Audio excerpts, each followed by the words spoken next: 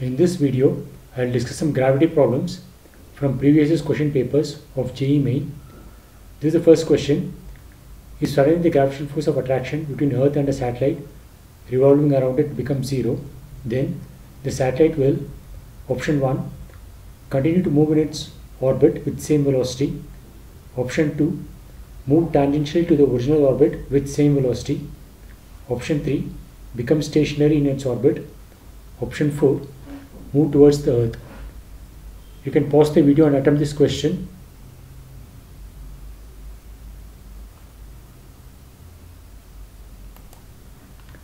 Here is the solution. So the earth is here and the satellite is moving around the earth and let it move in this direction. So the force is mass into acceleration is by Newton's second law.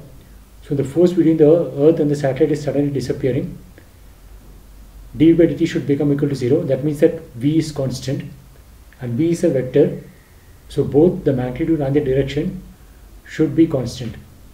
So at this location the velocity vector will be in this direction. So it will continue to move in this direction because the velocity vector is not changing, both the direction and the magnitude are not changing. So the option 2 which says it moves tangentially to the original orbit with same velocity is the correct option.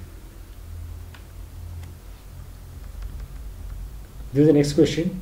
The kinetic energy needed to project a body of mass m from Earth's surface of radius r to infinity is. You can pause and attempt this question.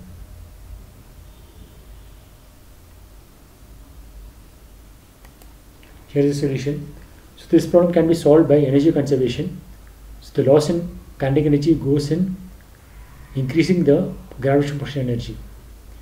So the loss in kinetic initial energy minus the final energy. When the initial energy has to be minimum, the final energy will be zero. And the potential energy is gm by distance. The final distance is infinity, and the initial distance is r. So from this, get the initial kinetic energy as gm by r, and at the Earth's surface, the force is gm by r square. That's equal to mass and acceleration, and g is the acceleration due to gravity at the Earth's surface. So from this, we can get gm as mg into r square. So using that, we get the kinetic energy initial as mgr. So the correct option is option 3. This is the next question. Energy required to move a body of mass m from an orbit of radius 2r to 3rs. You can pause and attempt this question.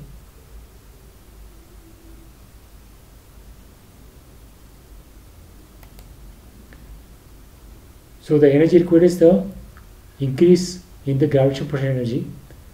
So the final gravitational energy is minus gm by the distance 3r and the initial distance is 2r. So from this we get the energy required as 1 sixth of gm by r. So the correct option is option 4. This is the next question. The time period of a satellite of Earth is 5 hours. If the separation between the center of Earth and the satellite is increased 4 times the previous value, the new time period will become. Four options are given. You can pause and attempt this question.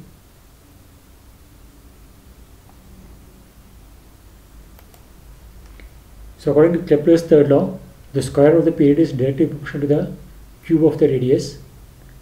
From this we get t1 by t2 square equal to a1 by a2 raised to the power 3. And in the second case, the distance is increased 4 times. It is 1 by 4 raised to the power 3 by 2.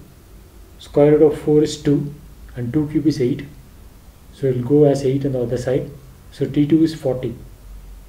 So the correct option is option 3. This is the next question. Two spherical bodies of mass m and phi m and radii r and 2r respectively are released in free space with initial separation between their centers equal to 12r. If they attract each other due to gravitational force only, then the distance covered by smaller body just before collision is. You can pause and attempt this question.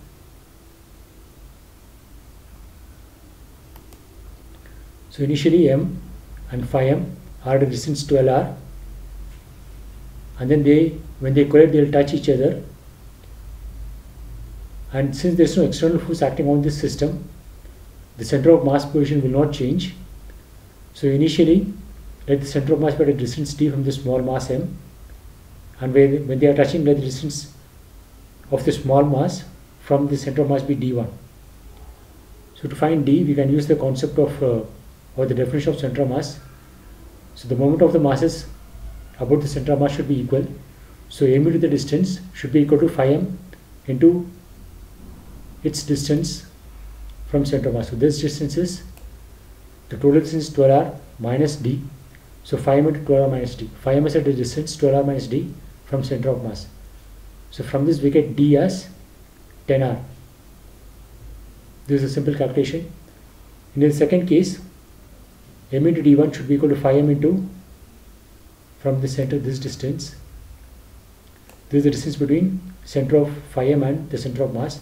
That is 3r minus d because this distance between the two centers is when they are touching each other is 3r and this distance is d1.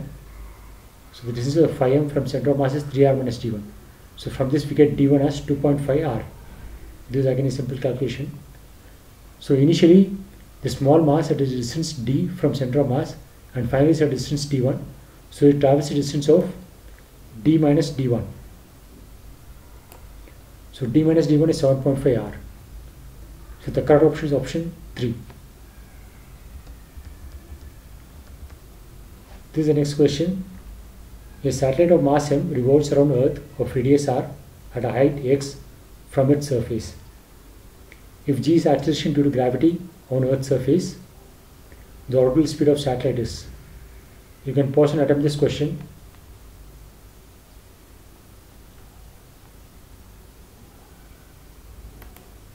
Here is the solution. So the satellite is a distance x from this Earth's surface. So from the center of Earth, it is at a distance r plus x. So the gravitational force is gmm by r plus x square equal to mv square by the distance. This is the centrifugal force. So gravitational force is balancing the centrifugal force. So from this we get v as this one. And at the earth surface gmm by r square equal to m into g. So from this we get gm as g into r square. g is the acceleration due to gravity at the surface of the earth. So using that we get v as this one. So it matches with option 4.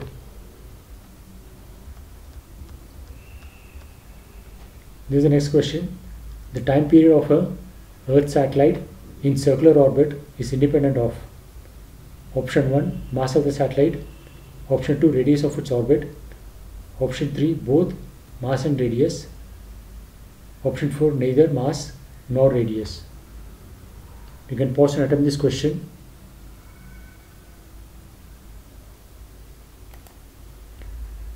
So the gravity force on the satellite is gm by r square. That will provide the centripetal acceleration. So mv square into r, sorry m omega square r. So from this you get omega square is gm by r cube, and that time period t is related to omega as t equal to 2 pi by omega. So omega depends is independent of the mass of the satellite. So the time period t is also independent of mass of the satellite. But omega depends on the radius of the orbit. So the time period also depends on the radius of the orbit. So the correct option is option 1.